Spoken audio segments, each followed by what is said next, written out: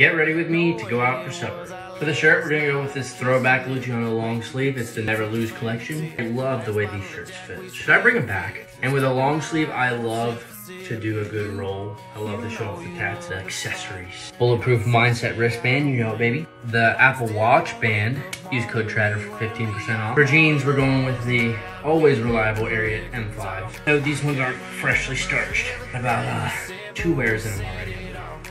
I still gotta suck in. For boots, we're going with the Ariat uh, New Futurity collection. The cutter toe, this is black suede, and uh, they just came out of my suitcase, so they're a little folded. For hat, I'm gonna go with the new Luciano Aztec collection that just dropped.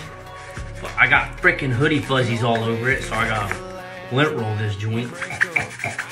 I'm feeling a vest tonight, so I'm gonna go with this Ariat uh, reversible puffer vest. I got this like three years ago, and it's still one of my favorites.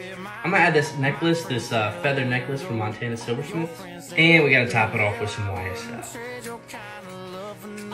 And this is the final fit for tonight.